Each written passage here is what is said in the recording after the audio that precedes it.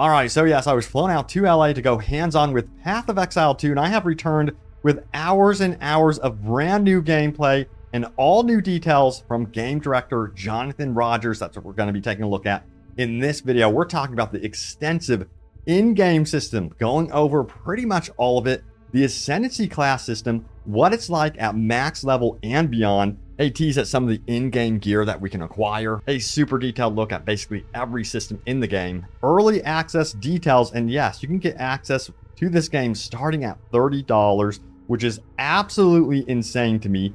More on the new game plus type system related to replaying the campaign. You guys have got to also see how the actual map system works in the end-game. It's pretty cool and also how this game is going to be starting out massive, but will also be doubling in size from early access until official launch. We're taking a look at some cool boss battles, classes, so much stuff. But by the way, I am doing a Path of Exile 2 giveaway. So for a chance to win early access, see the link in the pinned top comment. Check it out. But we're going to go ahead and see what Jonathan Rogers has to say. This is a very big presentation. By the way, a very special thank you goes out to Grinding Gear Games for their professionalism and providing me with all of this footage, the full-blown presentation for you guys. And remember, I have returned with my own recorded gameplay, so look out for that in the very near future. So yeah, here we go. This is super impressive. Enjoy. Now, what we're going to do here is we're going to go through the characters, uh, character classes that you can going to be playing in early access. And while we're doing that, we're going to explain the different ways that you have to develop your character. Now, as I said before, I like to keep things pretty casual. This isn't some kind of hyper-polished presentation. And Octavian, who's playing, is going to be using cheats and so on. So, you know, he might have to die and revive, but uh, hopefully it goes okay. So we're going to start off with the monk. So the monk is a fast melee fighter. He cares a lot about momentum in combat. Um, now he's he does a lot of damage, but he isn't necessarily uh, that uh, strong physically uh, in terms of defenses. So uh, you're going to want to stay back and uh, you know go into and out of combat very quickly. Now, like all classes, um, the monk was going to want to mix and match a few different combos. And one of the things we really like to do with our skills is make sure that we've got a lot of things that can take advantage of different situations. In this particular case, Octavian is freezing monsters with uh, this wave of frost, and then he's using Glacial Cascade to uh, kill them uh, if he hits the thing. If the end of the um, Glacial Cascade hits the monster um, and it's frozen, then it will um, do a uh, AoE damage and uh, you know, um, well, yeah, do a lot of damage. Now, the monk also has a lot of combo skills. An example, so if you hit monsters using regular attacks, uh, then you'll charge those skills up. An example of this is Tempest Bell. So here we're going to create a bell, uh, and then if you hit the bell, it'll do damage around it. Uh, you can also um, add status ailments to the bell. So, for example, you could freeze it like he was doing there, which will add cold damage. But you could also set it on fire or um, do, um, uh, you know, uh, shock it and this, this kind of thing. So that's sort of just like a really quick rundown of the kind of skills you can expect on the monk. But how do you get skills in the first place? Well, the answer to that is skill gems. So the way that you get uh, skill gems are items that you can find in the world, and if you right click on one, uh, you can choose what skill you want to get. Now we're trying to keep the skill system feeling as much as possible simple for uh, new players. Um, there's two things you can do here. You can either level up an existing skill or you can pick a new one, and that kind of interface is quite familiar. We have added things like tutorial videos for every skill. Frozen locusts will explode when attacked by you or your enemies. Um, but uh, effectively, we just want to make sure we're keeping this simple as possible. Now, what you do once you've got a skill gem is put it into your skill screen, and once you've done that, you can bind it and use it. This particular skill is called Frozen Locust that creates a, um, uh, a, a, little ice ball there, and then you can detonate that with your Glacial Cascade if you want, since it counts as a uh, frozen object. Um, um, or the monsters can attack it and explode it that way, or you could use it in front of a boss who's about to slam and explode it that way. So that's a sort of basic rundown on how you get skills, but it's worth mentioning that um, you can also use skills across other classes as well. So um, what we saw there was just the skills for this one class. If we open up the screen again, you can see that the skills for the other classes are still available. If um, you can, if you have the stats to use them, you can use them just as well. Um, and then there's lots of different interesting combinations you can use across classes too. So that's just a quick rundown on what you can expect for the monk. Uh, now we're going to move on to the sorceress. So the sorceress is our primary uh, elemental spellcaster. Um, she's going to attack mostly from range. Um, she has high damage but low survivability. Um, the area we're entering here is in Act 3 called the Forge. Um, this is an area like an ancient uh, Vaal forge where they were making uh, various, uh, you know, forging various gold things.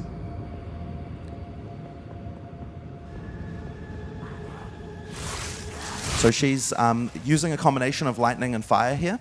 Um, once again, there's lots of interesting combos that um, we want to do, but one of the things that I'd really like to kind of show you um, to get a taste for one of the other character development areas we have in PoE 2 is uh, support gems.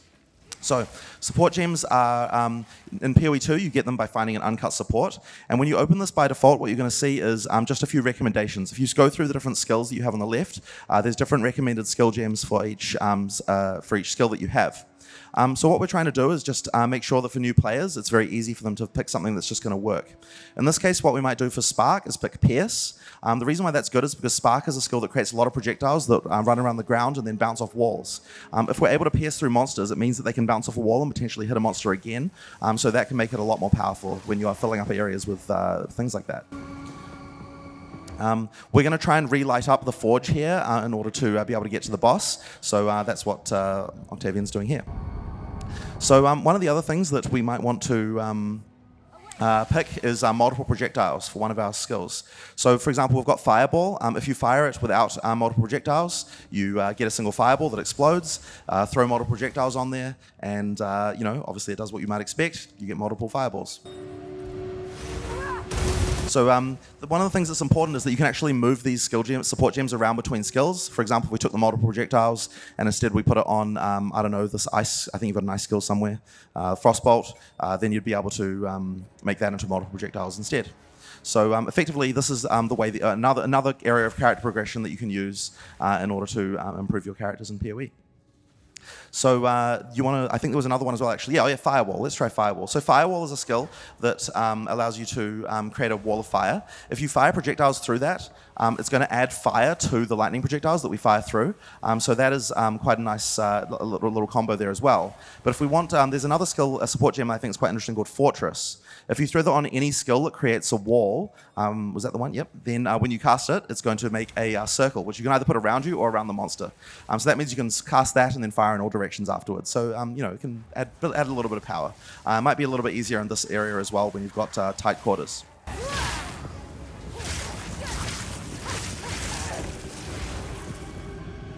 All right. Now the next thing we're going to show is the warrior. So the warrior is our um, kind of big tanky melee class. Um, unlike the monk, um, he's a lot slower, but he hits a lot harder.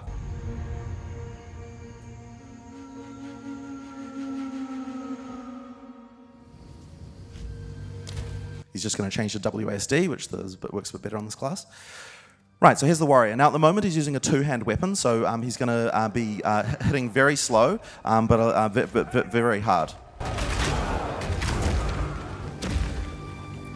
But there's also something else you can do as well in PoE 2, which we didn't have in PoE 1, um, which is that um, if you switch to a shield and a one-hand um, item, um, then uh, you've also got active block. So um, uh, this is something that actually comes in handy. It's not so useful for just regular trash monsters unless they've got some special ability, but it can be quite nice against bosses. So let's have a quick look at that. So this is a big boss here, and the thing with bosses, they have large telegraphed attacks. So um, if you use active block here, you can use that to avoid all damage from the front, uh, which is quite nice. Now, there are attacks that um, uh, have a little red flash that you can't block, um, but for the most part, you can. I need more time.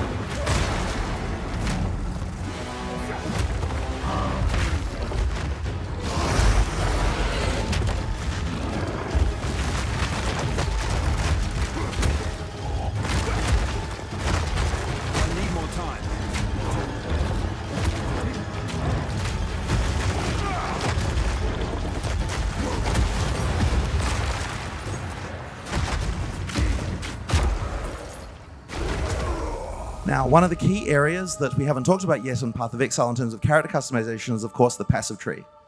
So Path of Exile is really well known for having a giant passive tree.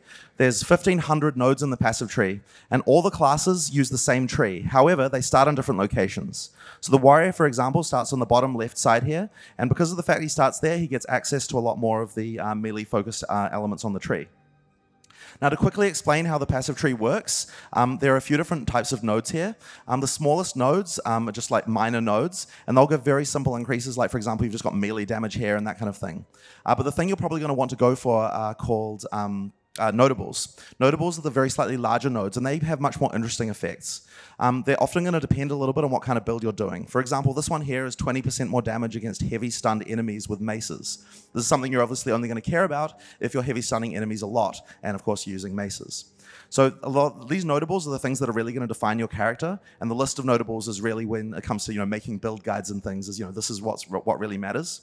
And in PoE 2 have really tried to push the fact that notables are a lot more interesting, so there's a lot more stuff going on with them. Um, but as well as notables, there's also um, other big nodes on the tree called keystones. And keystones are unique because they have both upsides and downsides. So an example of one right here is called Giant's Blood. It says you can wield two-hand axes, maces, and swords in one hand, but you get double attribute requirements of weapons. So effectively, if you want to use a giant two-hand sword, but you still want to use a shield, you've got a way to do that. You just have to meet the attribute requirements to do it, uh, which could be tri- tricky for in-game bases. There's also other keystones, a few examples from other classes. There's one here that um, is, you know, from PoE 1. Maximum life becomes 1, but you're immune to chaos damage. Since chaos damage does uh, double damage to uh, energy shield, this is something that you might want to use. Uh, once you've got that, you don't have to worry about chaos damage anymore. You just need to build for energy shield and not life. Um, or another example of one that's been modified from PoE 1 is Mind Over Matter. All damage is taken from mana before life but you have 50% less mana recovery rate. If you're going to build for this, it means you don't have to worry about life once again, but um, you will have to build a huge amount of mana pool in order to sustain that. So these are the kind of things that you can pick um, from keystones that, um, as I said, have upsides and downsides and interesting trade-offs. Now, there is one other mechanic as well that I want to quickly talk about. So if you go back to the character and just have a look, um, uh, Octavian was manually switching between, uh, if you go back to the character um, and see, so Octavian was manually switching between one hand and two handed weapon sets. He was just pushing X to do that. Um, and uh, when he's using both sets, there are uh, things on the passive tree that you might want to be able to use um, uh, for, for one or the other. So, another unique feature for PoE2 on the passive tree is the ability to split passives in two uh, in order to allocate one for one set and another set for the other. So, if we allocate ones in red here, um, these passives will only be used when you've got a two hand weapon. And if you allocate passives in green using the other one here, these passives will only be allocated when you're holding the other weapon set, when using when he's using his one-hand weapon. So effectively, if he presses the weapon swap button now, it'll switch from one set to the other. Um, so that means that he can um, effectively dynamically adjust his passives based on um, what weapon sets he wants to use. But the other thing as well is in order to make it a lot easier for you to be able to use uh, different uh, uh, passives in your, um, sorry, different passives and different weapons for different skills, we also have the ability to pick for a given skill which uh, weapon set you want to use it with. So for example, the Stampede skill here, um, if you've got a shield, um, then when you use the skill, it will um, be blocking the entire time if you just demonstrate that quickly. Um, so if you use a um, Stampede, uh, because you hold your shield in front of you, you're blocking the entire time you're charging. And uh, using the one-hand weapon will also be a lot faster because it's got higher attack speed. So that's something we'd much rather use with our one-hand weapon. But when, for example, we're doing our Earthquake or our um, Double Slam, this is something that we probably only want to use with our two-hand weapon because we want to do most, the most damage. So that means we can turn it off with the other weapon set. And now when you use your uh, two-hand, uh, now when you use that, it'll switch to your two-hand weapon automatically. So effectively, this allows you to um, have multiple weapon sets and do a lot of different things. It's also very good for, um, you know, for example, on the uh, uh, sorceress earlier, she was using lightning and fire. Um, you know, she can have two different staffs, one that's geared for one, one that's geared for the other, as well as spec her passive tree out as well. Um, so that's another character development feature that we have in um, PoE 2. Next up, we want to talk about the uh, ranger. So the ranger is our primary bow cast, uh, you know, bow user, um, and she's all about range and mobility. So um, one of the first things we did when we were um, developing the Ranger is we wanted to make sure that everything you do can be done while moving. Um, so this just makes the game feel a lot more fluid. So she's just a lot more mobile even from that. Um, but she also has a lot of vaulting skills that allow her to jump up. For example, there's one there that like uh, freezes uh, monsters. She jumps up and she can jump over monsters and freeze them. Um, so this kind of thing um, allows you to, you know, yeah, as I said, feel a lot more mobile in combat. Make sure you can get away from the monsters, which you need to do since, you know, she isn't necessarily the most tanky character. Now, one of the things you might have noticed if you're a PoE 1 player is the bottom left of the screen there, there's only two flasks, just a life and a mana flask. We've actually changed how the flask system works in PoE 2 very recently. Now you get one life and one mana flask, and that's all. And that, the reason we actually did that is we found that uh, there was a problem in PoE 1 called Flask Piano, where everyone was just sitting there pressing 1, 2, 3, 5 constantly, uh, flasking. Um, the thing is, so um, we've actually found we've actually buffed uh, flasks significantly, so that each flask has a lot more charges, but um, the, uh, you only get one of each type. Now, one of the main things that people were doing in PoE 1 when they were using flasks is they had um, other, they were using the other flask slots for uh, mostly things that were making them resistant to various element types and so on. Um, and so we wanted to have a system to allow that to still be the case and still have interesting character customization there. So we've added a new type of um, item called charms. Charms charge up using flask charges, so as you kill monsters, but they automatically trigger in order to grant you immunity to certain things at the point when you get those things. So, for example, here, this is used when you become ignited and then grants immunity to ignite. So, if you're having trouble with fire damage, um, then you can throw that on there. If you get ignited, it'll automatically uh, quench you, um, and uh, then it will charge up again uh, from killing monsters. Now there are lots of different charms that have different um, uh, different different uh, abilities. They trigger on different things.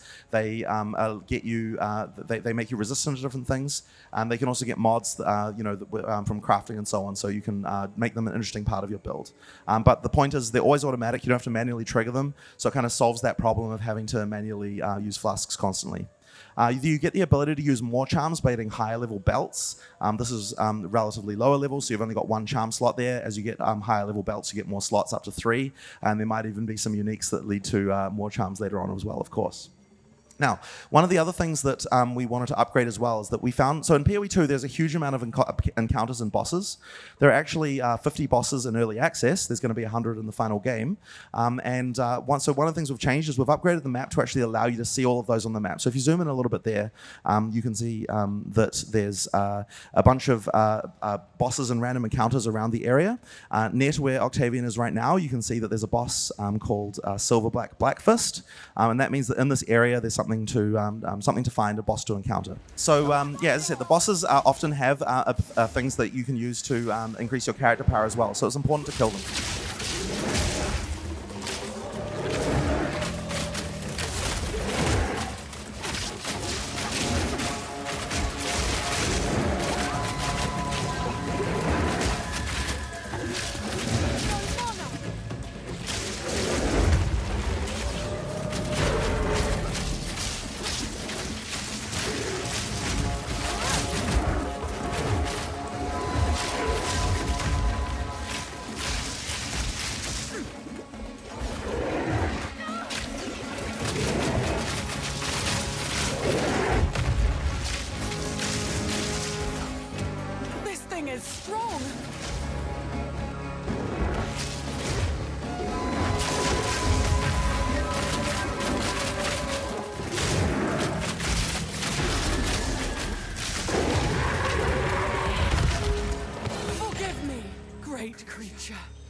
So as you can see, he dropped a book of specialization there. And this is one of the items that allows you to do the split passive points in the passive tree, but it also gives you more passive points as well.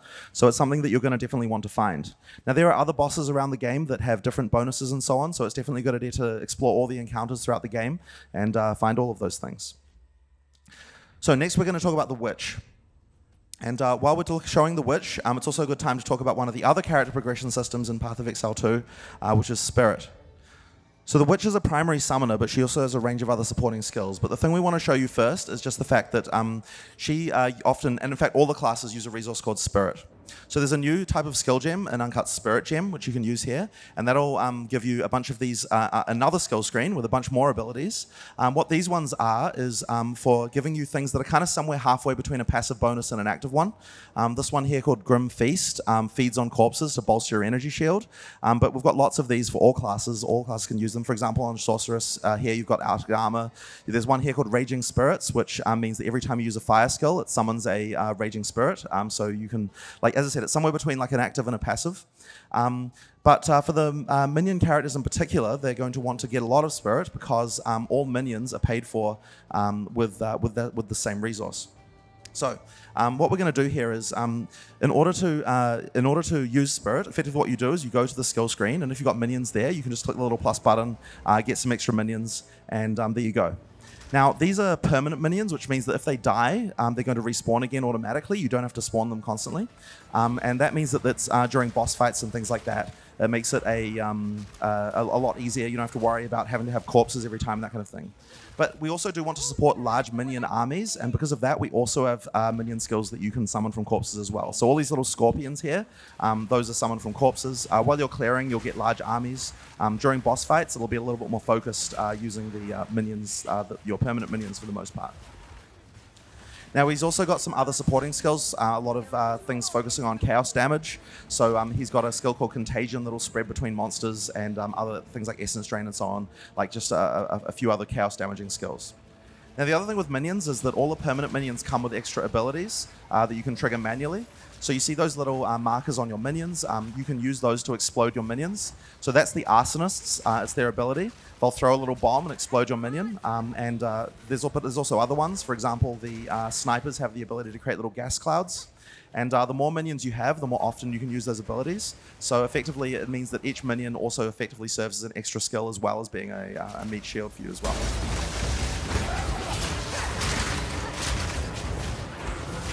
That's a quick introduction to the um, to the witch, um, but now we're going to show off the mercenary. Oh, actually, wait, no, we did miss something. Sorry about that. right, so just one other quick thing I wanted to show you as well is that um, the, the witch has a lot of other summoning options, even beyond just the ones that we've picked, because she also has uh, things called specters. So basically, anytime you kill a monster on the ground, it can be turned into a specter. We've actually created one here from Act 1 called a Cultist Archer. Um, they cost quite a bit of spirit, so we're going to unsummon a couple of the arsonists and put these uh, this Cultist Archer in. Now the nice thing is, is that because lots of um, monsters in Path of Exile have different interesting abilities, there's all those abilities can be used by the summoner as well. So this one has the ability to summon these uh, like purple polyp things that both slow monsters and um, add uh, weakness to chaos damage as well. Um, so uh, she's hopefully yeah she's using it there with those little things that um, exploded there. Um, because those are going to make monsters uh, weaker to uh, chaos damage, it'll be a, a very good part of this build. Um, it's not as many minions, but the nice thing is, is that um, it'll actually end up being more DPS, and I think for bosses it probably is better for this build than not. That's what these uh, little pilot things are. All right, so moving on. Let's uh, have a look, quick look at the Mercenary. So the Mercenary is another ranged character, but this time using crossbows. Now, the main difference between a crossbow and a bow is that crossbows fire instantly, and they also have an ammo mechanic where effectively, you know, you fire until your clip is empty, and then you have to reload. So it plays a lot more like an FPS. And we've got lots of type of FPS type um, weapons as well. I just changed to WASD here because this character plays a lot better in that way. So if you've got like a, a um, shotgun type weapon, um, uh, you've got a uh, assault rifle type weapon. Uh, find some monsters. Uh, and various other types. You've also got attached grenade launchers um, and uh, things like sniper rifle type weapons and so on. Now, this um, plays very differently to the other classes, um, but I think it's really fun. Um, it's just like a whole different sort of feeling of the game. Um, this particular area is called Doryani's Sanctum. Um, he's uh, doing a lot of experiments on humans, and uh, you know is very interested in anatomy and kind of merging them with machines. Uh, there's a pretty interesting chest on the wall there that I quite like. Uh, if you click on that one, just uh, so there's a cadaver on the wall, and it like slices up and uh, drops some items. So um, that's kind of fun.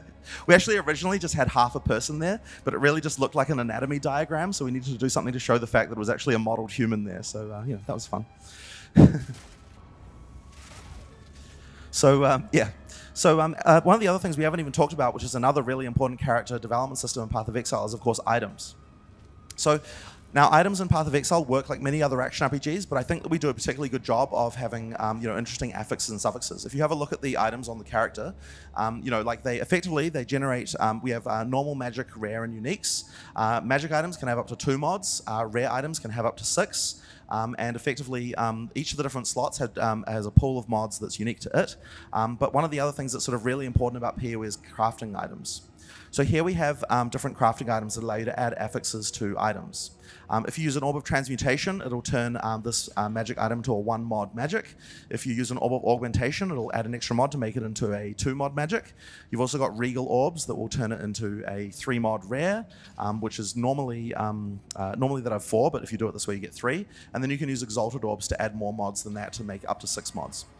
Now, something in Path of Exile 2 that's very different than PoE 1 is that these currency items to add mods to items are much, much more common than they were before, and you're really going to be expected to use them throughout the campaign. It's like a really important element of player power. We've actually changed the way the scaling works in quite a lot of elements to kind of try and make it so that um, picking up a, like new blue items is going to actually be an interesting choice for you. Using uh, using regals and exalts on them are uh, pretty interesting, and also you get regals um, by selling uh, by disenchanting rares as well. So effectively, you can um, get quite a lot of regals in order to upgrade items to um, to rares uh, relatively easily. So now these crafting items, the other thing that's important about them is you can use them on any base type, not just um, items you can equip. Uh, they're used throughout the game for many different purposes, for the end game as well, and many other things. So uh, you can you know you could use them on flasks and charms. There's all sorts of places where you can use them. So uh, it's definitely something that you're going to want to master and uh, play around with. Now, the other items, of course, that we have is lots and lots of unique items. Um, there are hundreds of them in PoE 2. There'll be hundreds and hundreds more as we go along. Um, and, um, you know, some of them are pretty interesting. They all do things. They aren't just upgraded rares. They all do something kind of interesting. So, for example, here we have a boots called Corpse Wade. Um, if you put that on there and then you walk through a corpse, um, it'll make them explode and turn into little puffs of uh, green uh, uh, chaos damage there. Um, that's not something you're going to get on a rare item. Uh, another one here is called um, uh, Sands of Silk. Uh, if you put this one on, what it's going to do is change your dodge roll into a teleport, uh, into a blip that can blink through monsters.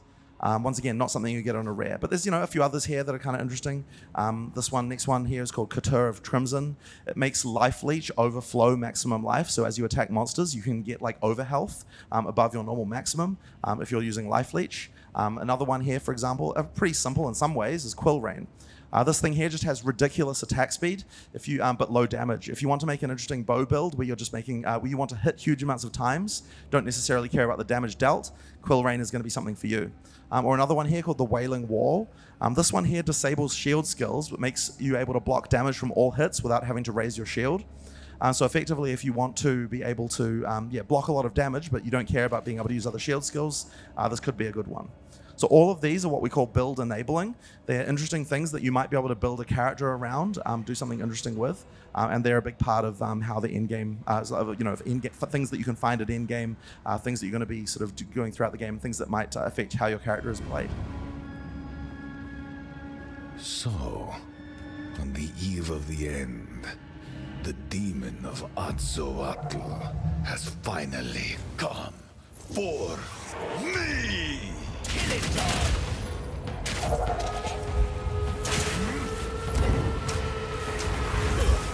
I bear the burden of our future!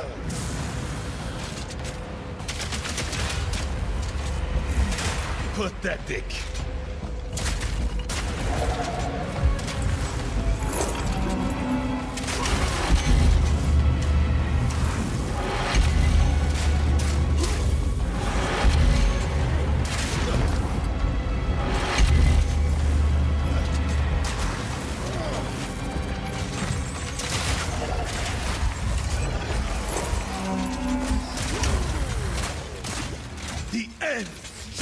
Justify the means. Let's see how you handle this. I can't give up. Not now. The cataclysm must be stopped. So you would take our devices and doom us? I think not. I will fight to the... Listen! I'm just here for the lady. There's no need for all this.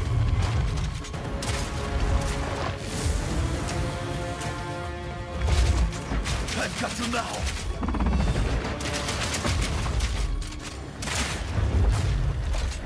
Please!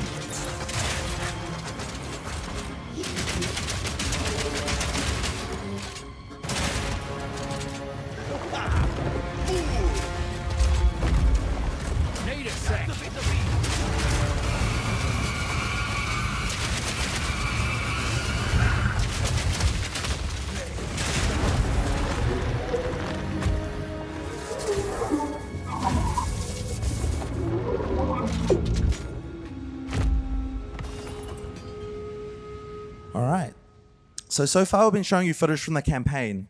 One of the really important things in any action RPG is the end game.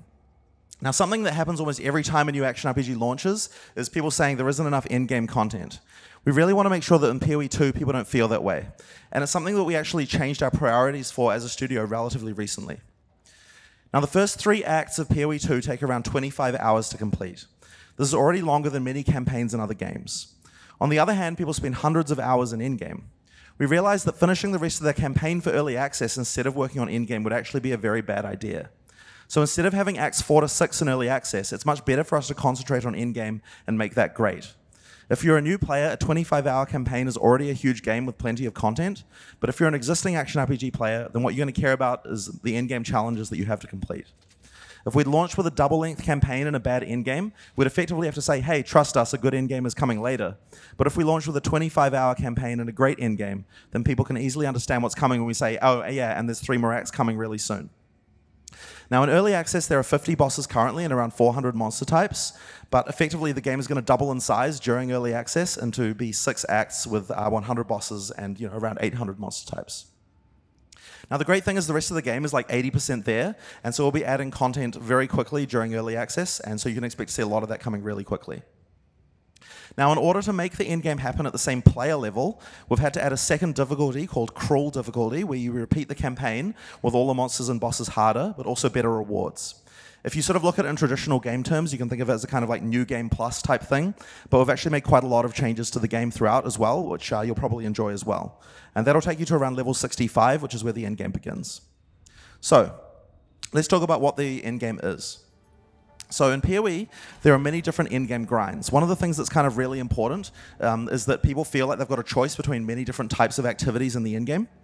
So for PoE 2, at the start of early access, we're going to have eight primary end-game grinds that you can do, all of which have their own sort of systems for leveling them up, improving them, unique rewards, player power that you can get only from them. And uh, we're going to introduce the first two of them uh, right here um, uh, uh during the campaign, um, which are the Ascension Trials.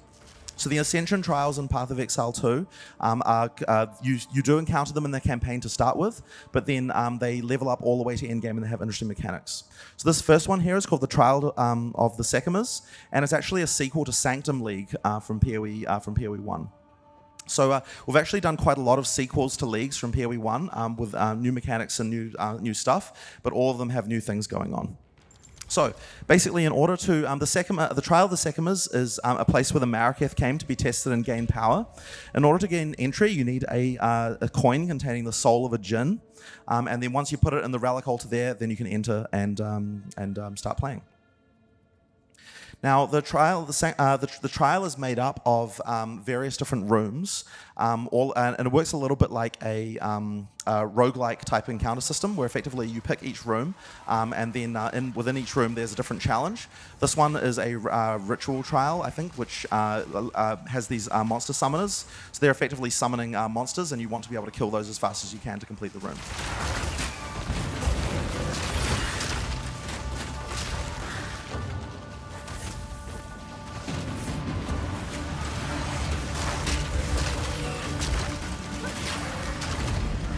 That one was relatively easy. So once you've completed the room, you can go into the next room to get your reward. Now in this case, we have a silver key. Keys can be used at the end of the um, of the trial to be able to get um, uh, rewards, but effectively you have to be able to survive the entire trial to be able to claim them. Now this is the map for the uh, trial, and you can effectively pick what type of uh, room you'd like to go to next. Um, there, now there are a few different issues. One of them is that um, you, uh, the next room will have a type, um, so a type of trial. For example, here's an hourglass trial, and it also has a type of reward. But also, some of them have um, boons or afflictions that might get you. So this one says, for example, when you enter it, that it'll afflict you with blunt sword on entry, um, which means you and your minions deal 40% less damage. We probably don't want to do that as a minion build, um, but uh, they have better rewards in exchange for that. So once you've picked your room, you can go and do uh, go, uh, go and do the next one.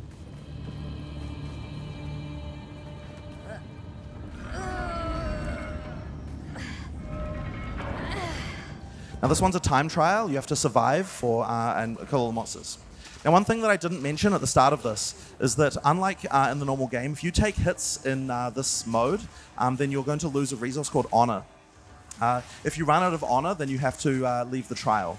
Um, so effectively, you want to really try and play these runs as hitless as possible, and that means that all the monsters we've selected um, usually have to be avoidable in some way, have dodgeable mechanics, and uh, that's sort of why uh, Octavian is playing as safely as he possibly can here. He doesn't want to get too close to the boss uh, or the, that, that monster there, um, because uh, he doesn't want to lose honor.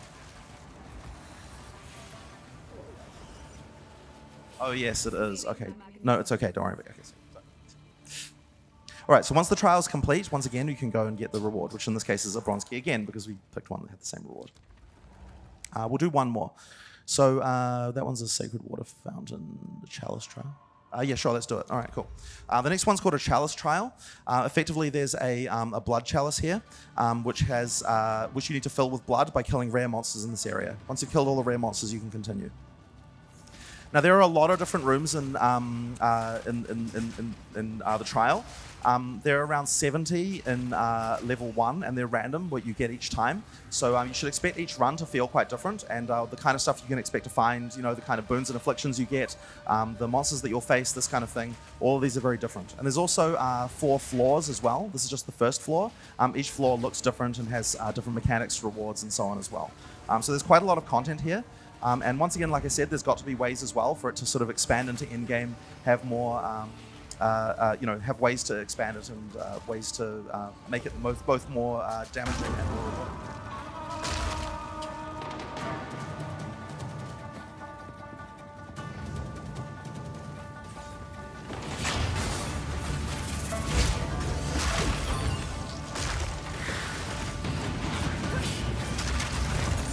Where's that other rare? There he is.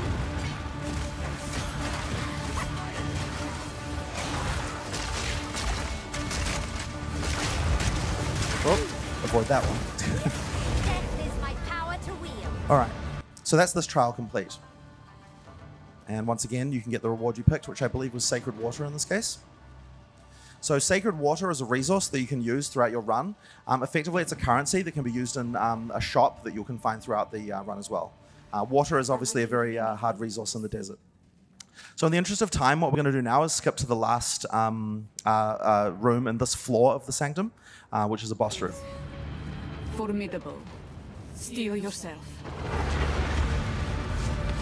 All right, so now we have Rattle Cage.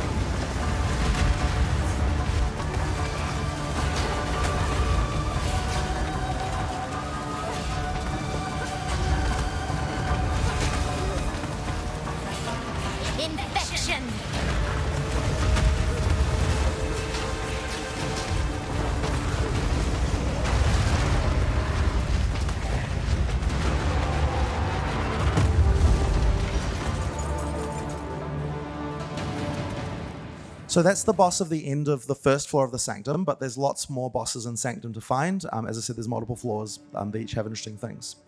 Now, at the end of each floor, you'll get the ability to pick from various different chests. The keys that drop um, give the ability to open these um, these caches here. Um, so you want to pick which one because each of them have different uh, uh, different types of rewards in them.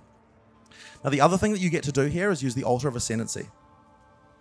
Um, now, unfortunately, we forgot to reset the Ascendancy class, so you're not going to be able to see the uh, list there um, when we did the thing before. But effectively, once you've, um, the first time you uh, use the Altar of Ascendancy, you get to pick between um, three different Ascendancy classes.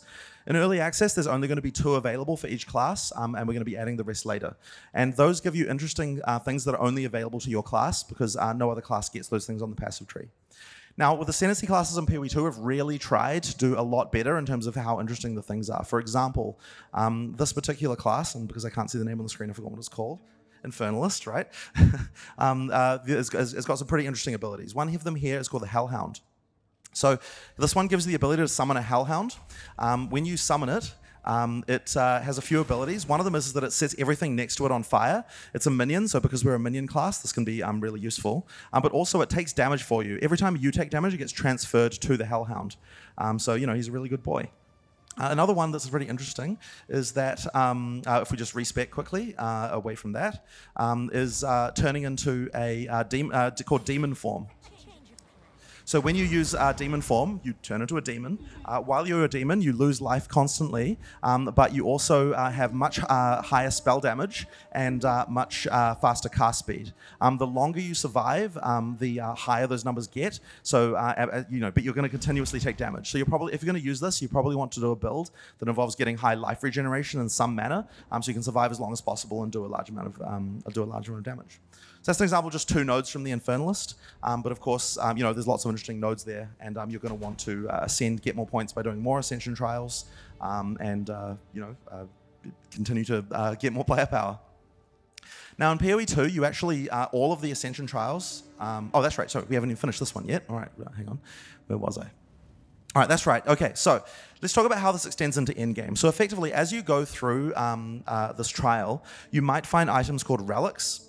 And uh, relics are these items here, which can be crafted. Um, you can see an example of a blue one here. This one says monsters have a 4% chance to uh, drop double sacred water and gain 16 sacred water at the start of the trail.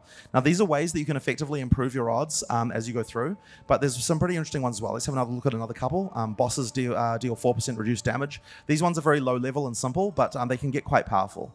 If you click on the relic altar um, before you start your run, um, put a coin in, um, then you've got these slots here that you can put the relics in, and you can also unlock more slots by doing more, uh, sorry, uh, by doing this more uh, in order to be able to put more in. There are also unique relics, like for example, this one here that um, says that the boss at the end of the entire um, trial will drop a specific unique item, but your maximum honor is one, which means you can take exactly one hit, uh, which means that you need to do a hitless run in order to be able to uh, uh, get that unique. Um, so there are lots of other interesting, unique relics that do other things. Um, you know, the ability to extend this and uh, get into endgame is pretty high. And uh, one of the reasons you're going to want to do that is because, um, like all of these different endgame mechanics, there's unique player power that only comes from it. So in this particular case, we have jewels. Um, are coming back in PoE2 as well. Um, you can see an example of one of them here. These are things that you can socket into your passive tree to be able to um, get more um, uh, get get more stats. So this one says 15% increased maximum energy shield, and minions have plus 7% to all elemental resistances. Now, because of the fact that you can roll these yourself and stack them, there's some pretty interesting things you can do with jewels. And there's also jewels that have other kind of random and weird effects. Like, for example, this one here says upgrades, uh, sorry, um, says that um, 25% increased effect of small passive skills and radius. So this one actually modifies the other skills on the passive tree to improve them. Um, and, uh, you know, you, with some interesting things and some interesting overlaps, you can do some pretty cool stuff with those as well. There are, of course, unique jewels and other things going on. And um, I won't go too much into it, but effectively, this does scale all the way end game, has uniques, has ways to scale it, uh, and a lot of interesting things you can do. Um, the next trial we're going to talk about is the trial of the Chaos God. Now, unlike in PoE 1, um, every time you want to get more uh, ascendancy points, there's a new trial um, that you have to do to, to do that. Um, so this is the second trial um, that you can do, and once again, it's also an end-game mechanic that, um, uh, that can be expanded upon. So we're going to use the Mercenary for this one. now, this is the one you're going to encounter in Act 3 for the first time, but as I said, it extends to end-game as well. Um, finishing the Ascension trial was kind of an ancient rite for the Vaal that conveyed power and respect. Um, entry requires a token from a strange entity called the Trial Master. And this is actually a sequel to a league from PoE 1 called Ultimatum, uh, but it works very differently. So um, to start with, um, he's going to offer the trial. um, offer, make the offering to the trial, and then he can walk in. Now, before you enter each room in um, the uh, trial of the Chaos God, you're going to have to pick from one of the downsides that's going to affect you for the entire rest of the trial. So the trial master is here, and he's going to offer you an item to start with. Here's the item that you're going to get if you uh, complete this room, and he's also going to say, pick one of these three things that's going to potentially hurt you. Uh, in this case, we're going to pick blood globules, which will um, one of the easier ones. And what that's going to do is mean that um, uh, these blood balls are going to appear above your head and slam down periodically. Are you ready, Challenger? As you walk into the room, he's going to summon a bunch of these monsters. Now, each of the rooms has different mechanics. This one's very simple. You just have to kill all the monsters. Not Jedi!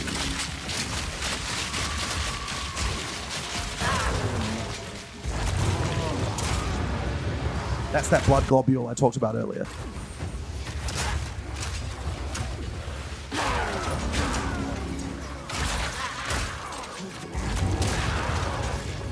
Now, the blood globule may not seem very threatening right now, but as you go through each room, you're going to add more and more mechanics that are going to hurt you, and so it can get quite intense by the time you've gotten to the end.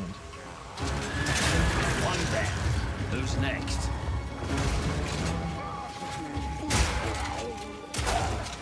There we go. So we've defeated all the monsters in this room, and we can move on to the next one.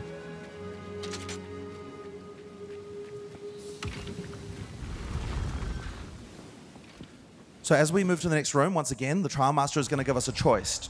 Basically, sort of double or nothing. Do you want to take another reward um, and, uh, and and make make the game harder again, um, or do you want to take the rewards you've already received so far and uh, and leave with your ill-gotten gains? Uh, in this case, obviously, like most players, you're probably going to want to pick another reward and keep going. So there's the existing one, blood globules, and that'll keep stacking up. But we're also going to add shocking turrets here, which are going to add turrets through the um, through the room, which uh, you'll have to deal with as well. Now, this one is uh, a uh, trial that requires uh, it's a time timed encounter type trial. Live. As you can see, there's those lightning turrets there now, which you also have to deal with, and it's going to spawn a lot of monsters that you have to survive. You don't have to actually kill all of them. Uh, if the time runs out, then they're all going to go away. So uh, yeah, you can. Um, you just have to survive.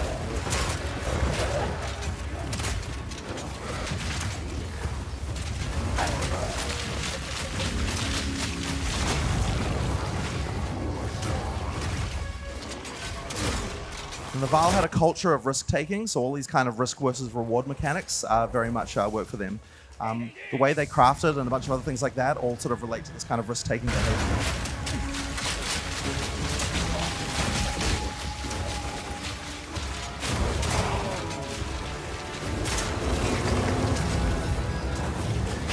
Stuck.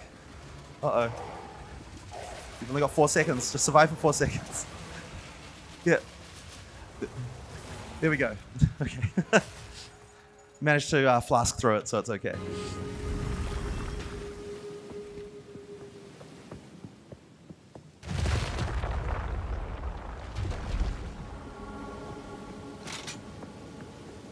So as you get towards the end game, um, there'll be a very significant number of rooms you can do in a row. Um, I, I mean, uh, you can just keep on making it harder and harder.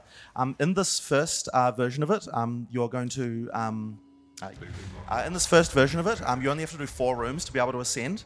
But once again, if you can't do them all in a row in one go without dying, um, then you'll lose your um, entry ticket. So you'll have to get another one to get in. So once again, like the other challenge, uh, you'll want to be um, make sure that you're ready before you do this trial. Now, this particular one involves pushing this idol forward.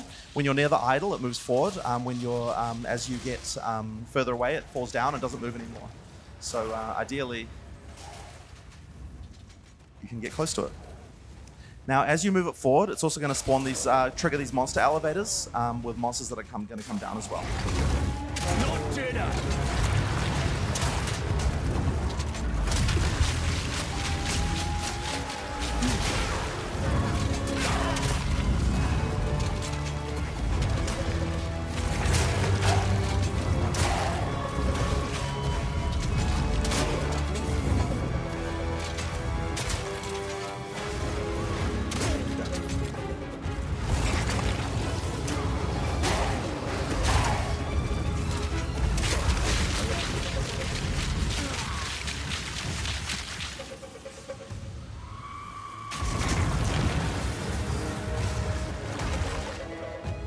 Finally. That one dragged a little bit, but it's okay. We finally got there in the end.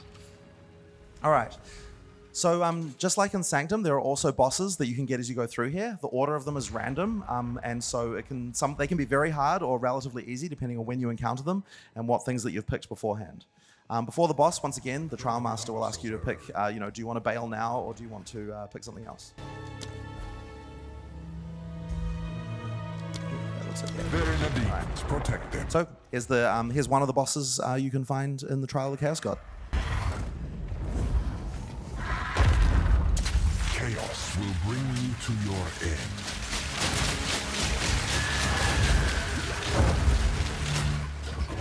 That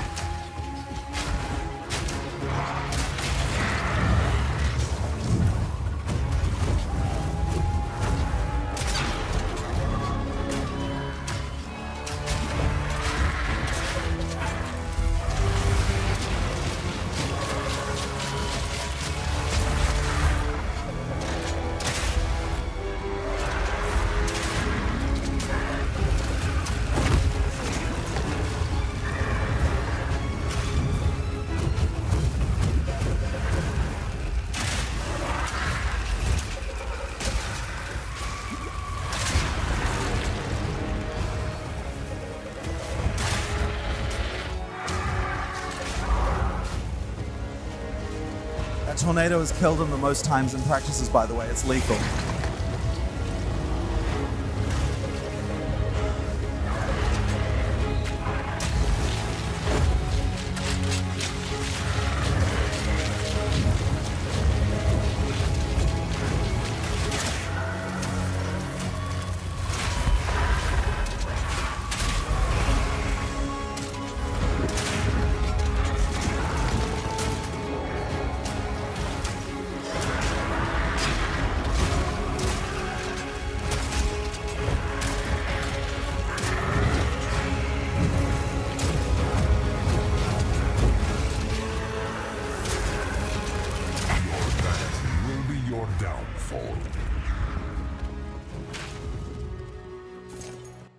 So that's as far as we're going to go in this uh, trial for now um, at this low level. And of course, once again, you'd be able to um, uh, ascend here if this is as far as you can get uh, during the campaign. Um, but um, it, uh, there's a lot more stuff you can get. So the trial master now is going to give you the rewards that you've earned throughout the trial, and there are a lot of rewards that are unique just to um, uh, ju- just to this trial. So let's go through a few of these that we've got here. Now the first thing he's going to offer, um, one of the things we've got here is an item with a socket in it. Now We've actually we removed our gem sockets from PoE 2, but we've actually re-added back sockets uh, in, the, in a much more traditional way um, as things that you can put items in to get extra mods. So if you have a look down the left there, you can see a thing called a Soul Core. This is a Soul Core of Thunder. Um, if you put it in a weapon, you get uh, lightning damage. If you put it in a shield, then uh, or sorry, an armor, you're going to get um, 10% lightning resistance. Now this is player power. You can't get any other way than sockets, and it's only unlocked through content um, that you can get uh, through here. Now, if you want to be able to actually add sockets to existing gear as opposed to using the sockets that are on gear that you get from here, you're going to have to use these things called Vaal Orbs. Vaal Orbs modify things unpredictably and they work a little bit differently than they used to in PoE 1. Now, the first thing I want to mention is the fact that these corrupt items, and what that means is that after you've used this, you can't use it on another um, item again. Um, so that's the last thing you want to do in your crafting step. Um, this particular one here rolled with a, it got an extra mod. It got uh, 14 to 20 chaos damage as an extra mod, as well as getting corrupted. But they can also do other things. So we'll use it on some of our gear here. Uh, you can equip it. I think you can leave it equipped. Yeah, yeah. Um, so we're going to use it on his, on his bow here. Um, okay, so that one gave him a socket. Excellent. So now he'll be able to upgrade his bow um, with a soul core to get an extra mod. Um, so that's really valuable. Um, probably wouldn't have picked that one, but that's fine. That's what he had. Um, then we've also got, uh, let's see in some other results. Uh, that one, okay, so that one just modified random mods on the item. So probably not good, not what you wanted. That's a bad outcome. Um, on the other hand, here, um, all right, added another mod, 25% increased armor evasion. That's a very good roll. So effectively, the theme with these things is that you're going to get random results. You don't probably want to use them on the items that you've got equipped because they're likely to potentially damage them or make them worse. Um, but there's player power that you can get from this that you can't get any other way. Um, so it's something that you're definitely going to want to be able to do as you go through the game. Now, of course, because we got to the end here, we can also ascend. Um, for this particular um, uh, one, we uh, might as well just ascend this character. Um, so there's the Witch Hunter, um, which you could pick, um, and might as well just pick a simple node. I mean, there's a basic one that's just Culling Strike. You might as well pick that. We didn't actually plan to show this character class while we're doing here, so just you know ascending while we're at it. Now, um, right there, you also see there's an entrance to the Trial Master's Tower. Uh, that's like a special endgame thing, which we're not going to show you, but effectively that's the pinnacle boss for this uh, particular uh, endgame grind. Um, but let's talk a little bit about how you're going to um, expand on this. So if you go back to the start of the area, um, the keys not only have um, uh, let you get into the trial, but they also going to have mods on them as well that allow you to do different things. And just like the Vaal always have, we want to make sure that there's things that have both bonuses and downsides. Um, that they're, they're very double or nothing type culture. So uh, this one here says sacrifice up to 10 exalted orbs to receive double that on trial completion. So effectively, um, you know, you can go double or nothing on uh, on currency as well. Uh, but it also has minus 25% to maximum player resistances, which is a pretty nasty downside. Um, you can roll these things and uh, and you know uh, and, and, and uh, that, that, they have some pretty interesting mods on them. So um, yeah, it's once again, it's one of those things you can specialize into end game. Now, of course, there's also uniques only available here, and uh, various other things available here. So um, yeah, you're going to uh, want to do that. So those are the two trials that extend into endgame that are during the campaign. But now we want to show you how the actual endgame, sort of primary endgame system itself works. So uh, we're going to have to get a higher level monk uh, to be able to show you that. Now, I'm not going to get too much into the plot of this, but this is where you're going to start in the end game. And uh, just like in PoE 1, we have a thing called the map device that you're going to be using to uh, travel around. Um, but what you actually get when you click on the map device is going to be quite different. Now, the storyline here effectively is that there's corruption from the beast has spread across the land, and you're going to need to try and cleanse it. Now, this is actually an infinitely scrolling map that goes in all directions and contains all areas you can go to. You can go to each map only one time, um, so you're going to want to, um, you're going to try and want to find uh, like you know interesting places to go.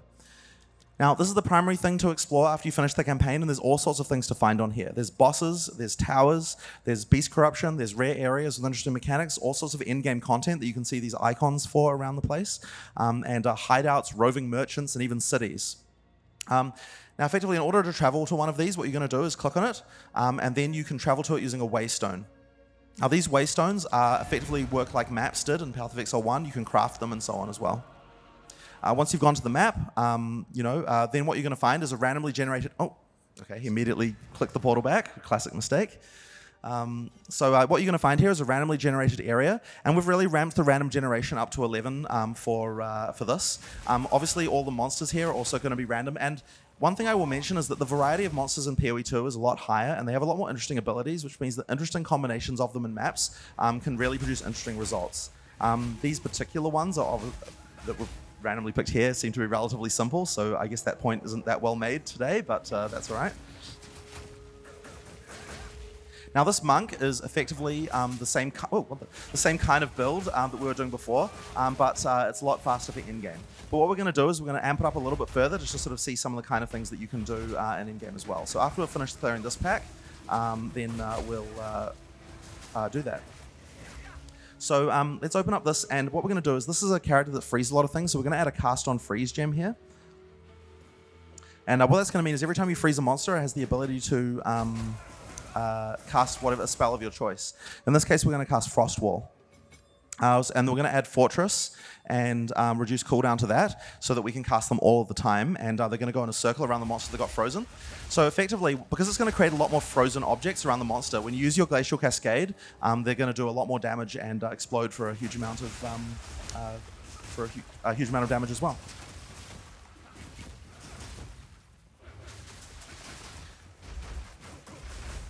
So the goal here is to uh, cleanse the corruption on the map, and you do that by killing all the rares, and if there's a map boss, then killing the map boss as well. Now there are map bosses that can spawn in every map, but we've actually decided to not have a map boss every time you go to them, and instead you can see which areas have map bosses on the main map. What that means is, is that we've got the ability to have the map bosses be a lot more challenging, but also drop a lot more items as well. Um, so because you don't encounter them uh, quite so frequently, uh, and you can also choose, you know, do I want to do boss uh, bossing or do I want to just uh, grind maps and, and do other things? So it kind of gives the player that choice. So once you've completed the map, it'll be green on the um, on on the um, in this area, and then effectively allows you to continue to explore. Now this map is kind of somewhat randomly uh, explored, so um, you know don't concentrate too much on that. But effectively, you're going to be expanding outwards from the uh, from from the center.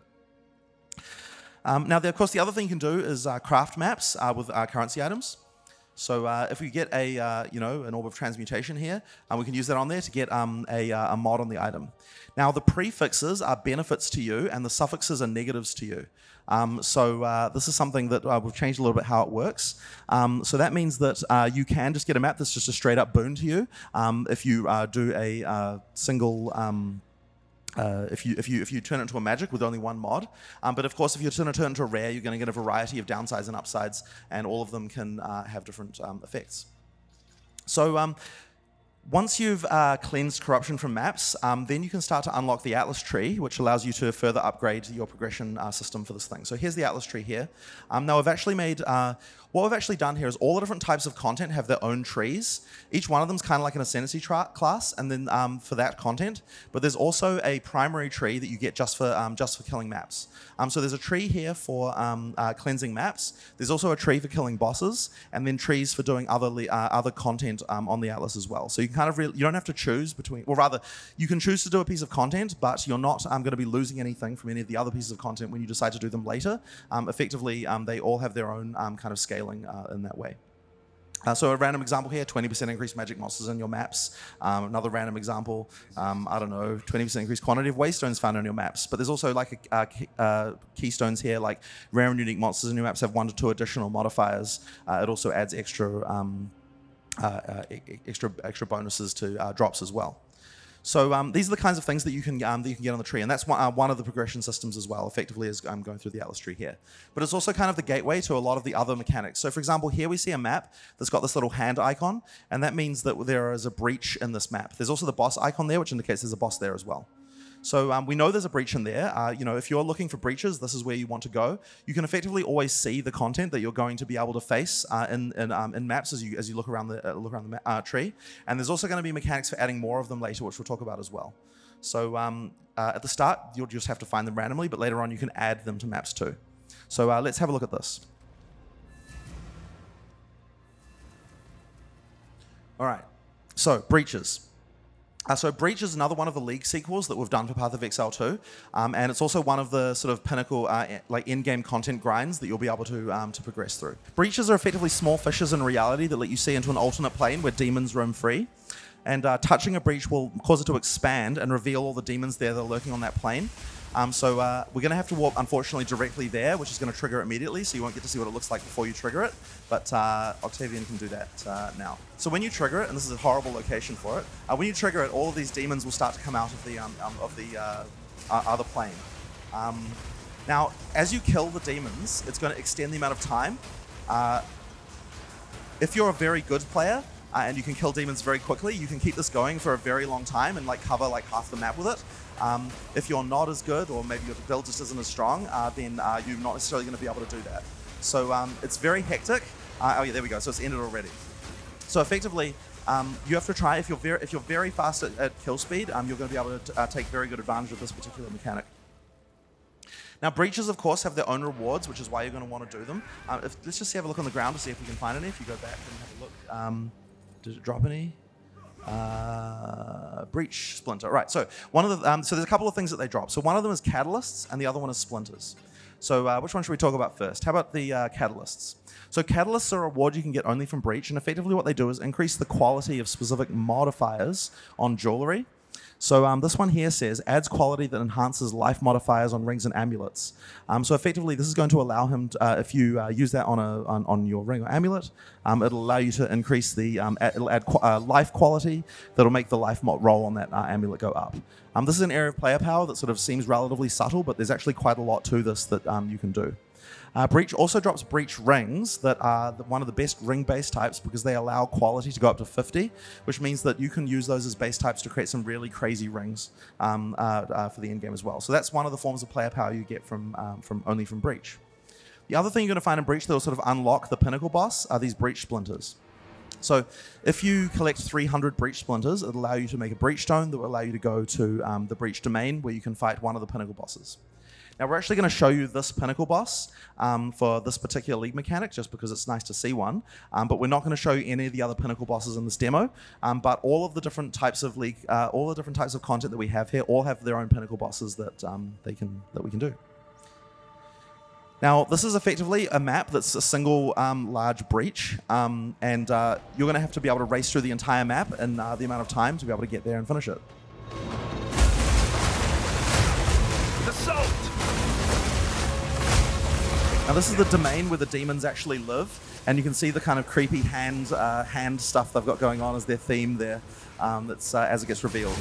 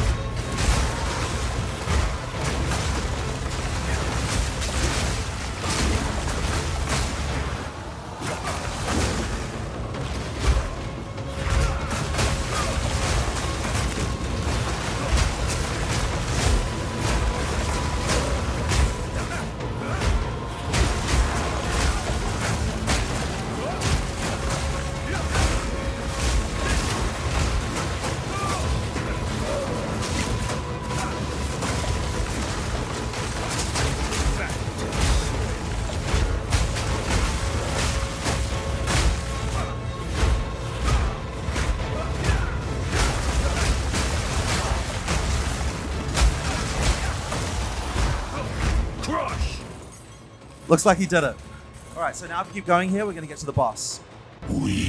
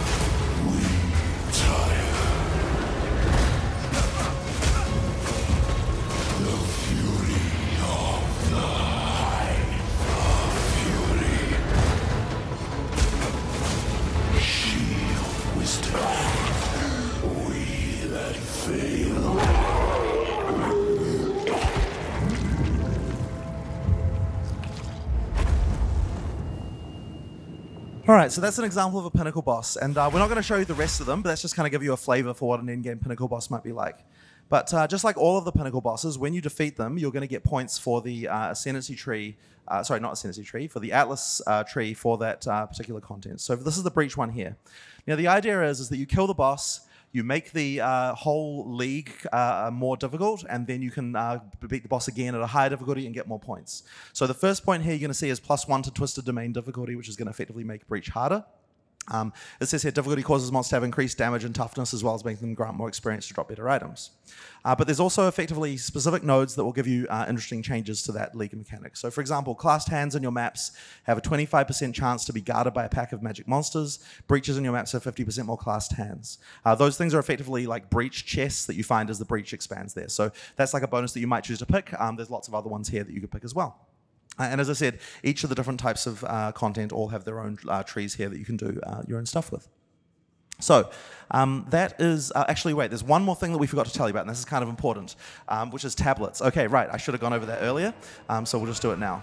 So effectively, right. When you do a breach uh, in your in your maps, one of the things that you might find, and this is kind of important, are tablets. Now, tablets are items in your inventory that you can use with these towers. Um, if you uh, open your inventory there and have a look at a, uh, just finding a good place. Um, so when you play breaches, you might find these breach tablets, and what this does is effectively adds more breaches to maps in the vicinity. So this says add eight maps in range. Uh, so eight maps in range contain breaches, and breaches in your map spawn an additional rare monster. So if you throw, if you open a tower, it gives you this interface. You can put the tablet in there, and then when you use it, it affects the local area and adds a bunch of breaches around the place. So what that means is that all the content is self-reinforcing. If you want to play breaches, then you're going to find then you're going to find this, uh, these tablets. You're going to use those to add more breaches to uh, maps in the area and also boost what the breaches are doing, um, and then which will get you more tablets, which will get you more and more and so on. So it's effectively a way to if you're choosing breach is the thing I want to be doing, then that means that you can um, effectively self-sustain breach uh, for as long as you want to, um, and uh, and sort of effectively turn your map into that. Um, and uh, this is the true for all the different mechanics that you can find on the Atlas. You know, you've got ones here for Ritual and Expedition and uh, Delirium right there. So, um, all right, so uh, that's kind of important. So, what we've covered here effectively is okay. Obviously, oh, actually, one thing I of course failed to mention is that you know there are uniques you only get from that uh, bot, pinnacle boss, of course, and so on. Um, there are uniques you only get once you get the difficulty of that pinnacle boss up to a certain level. So, of course, once again, each endgame grind has to have a way to expand it, a way to make it more difficult, a way to specialize into it, a way to um, you know get uh, rewards that are specific to that. So, next, uh, let's talk about Expedition. So once again, we've done another sequel to a league from PoE 1. Uh, this one's Expedition. Um, the uh, uh, we'll put, put a map in here, and just to make it a little bit easier, um, we're not going to actually do the rest of the map. We're just going to do the expedition part of it. Um, so what expedition is is effectively there are some Kalguurans, uh, a group of people called Kalguurans, who are trying to dig up some old burial sites from their ancestors, and the goal is try to get Verisium relics that are left over from their past. Um, if you've played PoE 1, the mechanic is quite similar. Um, effectively, what you're going to see is these all of these markers here on the ground that are going to tell you whereabouts things are buried, and they're going to dig these things up using explosives. So effectively, you have to choose carefully where you're going to place the explosives in order to be able to um, get the most amount of bonus. There are also these things called remnants here that give you both uh, bonuses and uh, downsides uh, for doing them. Um, after you blow up the remnant, all the future monsters after that point um, will uh, be stronger but more rewarding. So effectively, um, Octavian's going to place down some of these uh, dynamite charges uh, in a string, and uh, then once he's done that, then he will be able to detonate them and uh, spawn things. Now he's choosing carefully which remnants he wants to use based on his build. Uh, he wouldn't want, for example, to make all the monsters immune to ice because that would completely destroy him. Now there are lots of interesting things to find under the ground. Um, there's like chests, and there can often be caverns and things like that. Um, once you get to the end game um, system, uh, the, uh, the, the the pinnacle uh, content for this league, um, there's going to be bosses and so on um, to find and uh, things like that.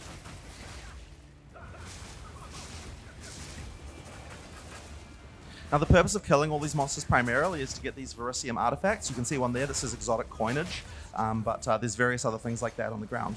They also have these chests that drop items. There's a broken circle, broken circle artifact, and oh look, they're unique. Nice. I, you might as well identify it. I don't know which one that is. Uh, let's have a look. This is just unscripted, by the way. Uh, Apron of Emiran. Bleeding you inflict is aggravated, which says that aggravated bleeding does 200% extra damage. Right, cool. So this is a bleed build type unique. Actually, whatever. Anyway, um, so uh, yeah, once you've got these um, artifacts, uh, then you can trade them with the Kalguurans for various different rewards.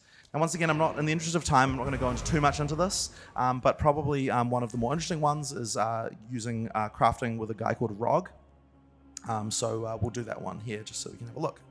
So Rog effectively has a shop where he'll sell you different items. Uh, you can re-roll it using the currency as well. Um, but once you find something that you want to kind of start with, uh, which maybe you don't, there we go. Um, then uh, what you can do is after you buy it, he'll offer to do various crafts. Okay, so this is an interesting one, Sebas, before you click anything. So what this is going to do is remove all prefix modifiers from the item. So if we like the prefixes, we probably want to skip this one and not do it. So let's skip this one. Uh, we got the same one again, which is very annoying. So, okay, so I guess we just have to do it then. Um, then re-roll suffix modifiers. Now, there's quite a lot of different modes here, but effectively you get various um, ability to uh, modify the item before you go. I think this one is going to turn out to be completely crap. Um, a single modifier with the lowest modifier level. Um, sure, uh, I guess you can just take it. Anyway, that was a pretty crap example, but um, the uh, effectively this is a crafting system that allows you to make some pretty interesting items. Um, now, the other thing you're going to get from expeditions, other than the tablets that allow you to do more of them, is um, what else do we have here?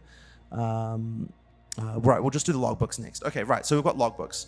So um, if you can get a logbook, it effectively allows you to do a like super expedition, which is like an area that has um, uh, only expedition. These logbooks have um, various mods and things as well. And uh, then uh, once you go there, um, then you can do an expedition that has uh, a lot more. Uh, you get a lot more dynamite to make it a much larger string. Um, so there's a lot more uh, uh, strategy in picking um, what type of things you want to uh, uh, find. Uh, also, if you um, there's also things like bosses and uniques and like special underground areas and things like that to find. Um, so there's just quite a lot of stuff hidden under the ground that you want to do. So at least find an underground area maybe. Yeah, is that one there? Okay, right.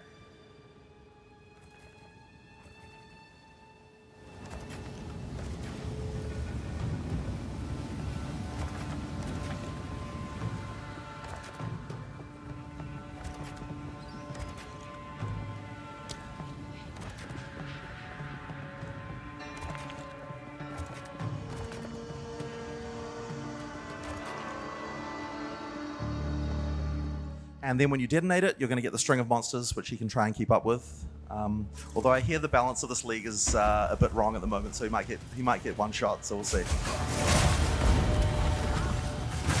As the remnants trigger, all of the monsters are going to get harder.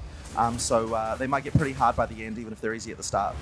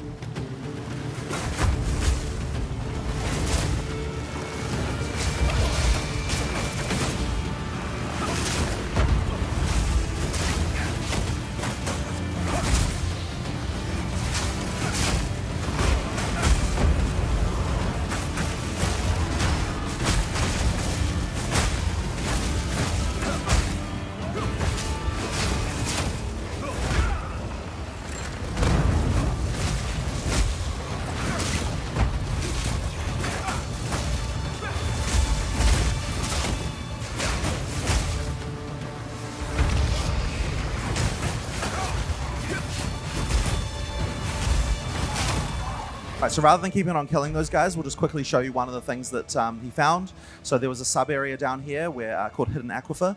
There's quite a lot of variety of different things like this. Um, I'm not sure what's in this one. Um, but yeah, as I said, some of them contain bosses. They all contain interesting rewards that can be uh, unique just to them. So uh, yeah, there's quite a lot of things you're going to want to find.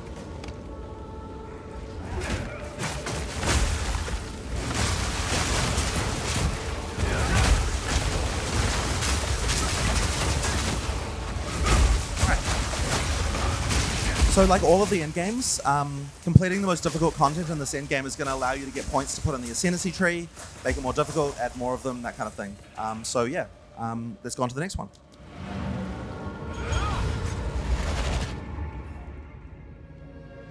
Oh, you might as well show the Atlas tree as well. Um, so there's an example here which makes the number of explosives to one, uh, so that you only get one really large explosive rather than having to do a whole string of them in your maps. Um, maybe just a randomly interesting one. All right, let's have a look at the next one, which is Ritual. So Ritual is one of the other in-game grinds. Um, the uh, when you enter a map with this mechanic, um, you're going to find these ritualistic circles through the area. Oh, there's one right there. Great. So when you kill monsters inside them, it effectively grants the monsters as tribute. And so when you summon the ritual, um, all the monsters that you killed within that ritual circle will spawn again. Why does that root spider have no eyes?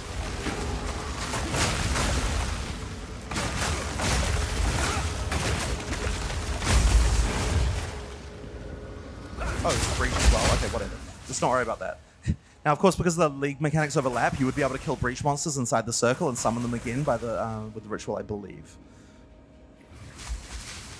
All right, so if you when you use the ritual, it effectively closes you off into a small area, and you have to fight all the monsters that you killed in that circle again.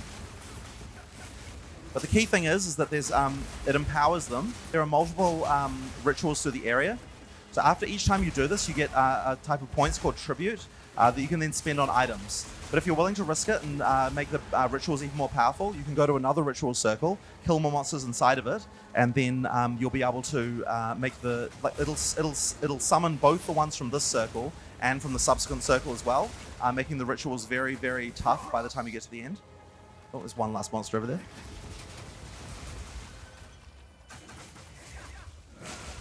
All right. So then when you click on the ritual, um, it'll open the screen here, which allows you to spend tribute. Um, now, I don't think we want to spend too long on this, but effectively, um, there, uh, this is the reward mechanic for Ritual, and the more tribute you get, the more uh, things you get. Jesus Christ, why are there more monsters? Oh, the map is beyond. Wait, is that because it was a corrupted map? Okay, right. So because this is a corrupted map, by the way, um, uh, every time you kill monsters, it's uh, uh, it's got this mechanic called Beyond, where it leaves these little orbs behind, uh, and then demons can get summoned from them uh, when you um, uh, when you kill them. That's just one of the random corruption outcomes you can get due to beast corruption in a map. Anyway, um, right. So this is tribute. Uh, you can buy items. None of these look particularly amazing, but uh, do you have a um, an omen in there? No. Okay. So in that way, we've got the inventory. Right. So one of the things you're going to be looking for um, for this are omens. So uh, omens are a high-level crafting um, uh, item that uh, you can use to make uh, more targeted changes to your items. So let's have a look at what they do. So here's an item here where we might like the prefixes but thinks the suffixes are crap. Um, so uh, normally what you might want to do is uh, either re-roll them with a Chaos Orb or maybe remove them with a, um, Orb of Annulment. But um, you can't normally choose which mod to remove. This is an omen of dextral, uh, sorry, of dextral annulment. What that does is while this item is active in your inventory, your next orb of annulment will remove only suffix modifiers. So if you use that, um, and then use an orb of annulment, it'll only remove suffixes, not prefixes. And uh, if you want to remove another suffix, he's got another one there. So this is a way of kind of doing meta crafting on items that allow you to make targeted changes. And with this, you can make some pretty broken stuff. There's another one here that says, while this item is active in your inventory, your next exalted orb will add two modifiers. That just effectively is a double exalt. Um, this kind of thing is like a pretty simple one, but there are a lot of these and they do very interesting things. So that's just a sort of interesting way of crafting. It's one of the types of player power you can get um, only from this league. Um, of course, like other in-game mechanics, there's an uber boss for this as well, and killing that boss is going to get you points um, in the um, uh, uh, we don't actually have to go there, um, but uh, we'll get you points for um, uh, the Atlas tree uh, for that league. So that's one of the other grinds as well. Uh, right, next up we'll talk about Delirium.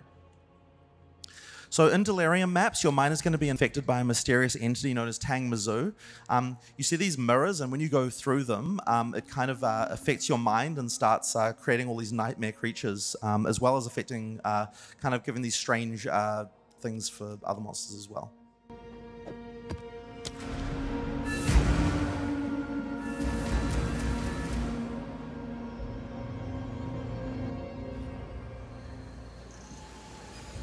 So there's the delirium right there. Your life will end, and you. So as you can see, it infects your mind, and you get this like mist, mysterious mist that goes to the area. Um, it both spawns new monsters as well as um, affecting the existing monsters uh, in interesting ways.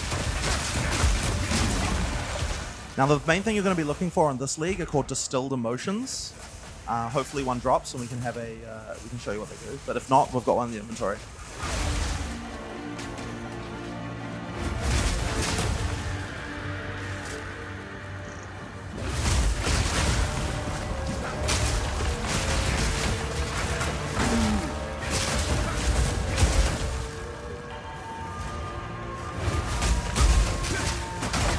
If you're able to keep up uh, with the uh, with this mechanic, um, then you might be able to cover the entire map in it. In which case, you can get some bonuses on uh, map bosses as well.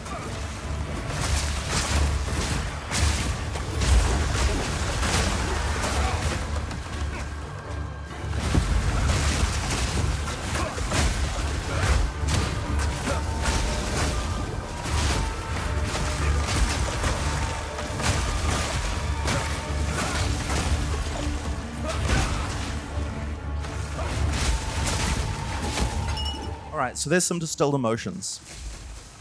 We have distilled ire and distilled paranoia. Now, what this allows you to do is craft mods onto your amulet that um, grant you passives from your passive tree. So, if you open up the crafting window for that, so um, effectively, if you put your amulet in there, um, then uh, if you do a combination of three different uh, distilled emotions, then it will allow you to uh, get a bonus um, uh, uh, uh, passive. Um, what's it called? The um, uh, notable, notable from the tree. Sorry, I'm getting a little. It's coming through a lot here. Um, so uh, a bonus notable on the tree. So that one's quick recovery, 40% increased stun and block recovery, regenerate 10% of life over um, uh, one second when stunned. Um, now, once again, this is a type of player power you only get from here, but you can also use them on maps as well. Um, so if you put them on maps, then it allows you to um, add bonus mods to them um, to the map, in addition to the rare uh, mods that you can normally get. Um, so it's another form of juicing that you can do um, on uh, for endgame as well. Right, so that is um, Delirium.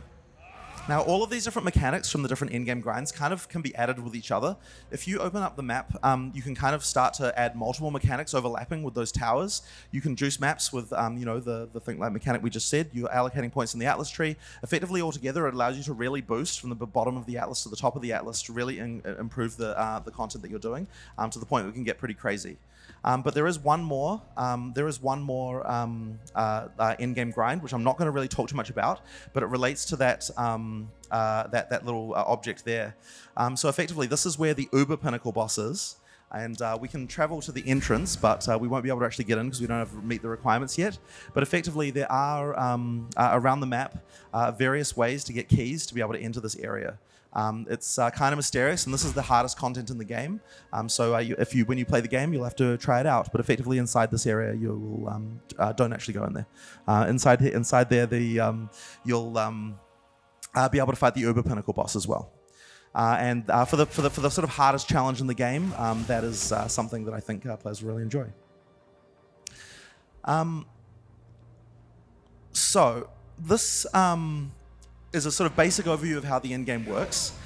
Um, there was quite a lot of information there, um, quite a lot of sequels to leagues from PoE 1 as well. Um, but uh, you can sort of see, I guess, the beginnings of a system that we're going to be expanding a lot over time. Um, as we add more of these uh, PoE 1 league sequels and as we add more content that uh, like uh, leagues to PoE 2, we've effectively got a lot of space here to be able to add as much to this game as possible. The Atlas tree, with all its different little um, uh, uh, what you might call you know the the, the ascendancy kind of cluster type things uh, for all the different content. Um, all of these things, um, you know, adding all of these things, um, uh, we're, we're going to add one every time we add a league um, to effectively allow you to scale this stuff, um, and so that means that there is a large capability to um, have a lot of content here. So that sort of shows you, I guess, as a quick rundown of the content in early access. Even though it is early access, there's a lot of content here. There's a lot to do in in-game. Um, there's the campaign plus the Cruel version of the cam- uh, the first half of the campaign plus the Cruel uh, version of the campaign, and um, all of that is, I guess, going to be coming out on uh, December sixth. So. How do you get access? Well, the answer is to that is that we're going to be releasing a bunch of supporter packs um, in the relatively near future when we an- uh, announce all this content. And the lowest supporter pack, the $30 one, contains a key to get access to the early access for Path of Exile 2. So um, if you're um, if you buy one of those, you'll both get points, which you can use to spend to buy you know whatever it is in the cosmetic store that you want to buy, um, as well as get access to PoE two. And any of our existing supporters who have spent more than I think it's around five hundred dollars, um, you know basically the highest tier supporter pack in the past, uh, will also get access for free as well. Um, so we're expecting to because effectively um, you know, like it's it's a it, it is a game the size of most retail games that come out. We would expect um, like a pretty significant number of players to um, be able to play, but there's still a lot of work for us to do. Obviously, we've got a lot more content to add, um, and a lot more things to do, um, and um, you know, there's uh, a, by the time we're finished, um, I'm hoping that PoE 2 will be, uh, you know, as we get to release, will feel like it's as large as uh, PoE 1 is easily. But um, yeah, that's all we have for you uh, today, and hopefully you enjoyed it. So thank you very much.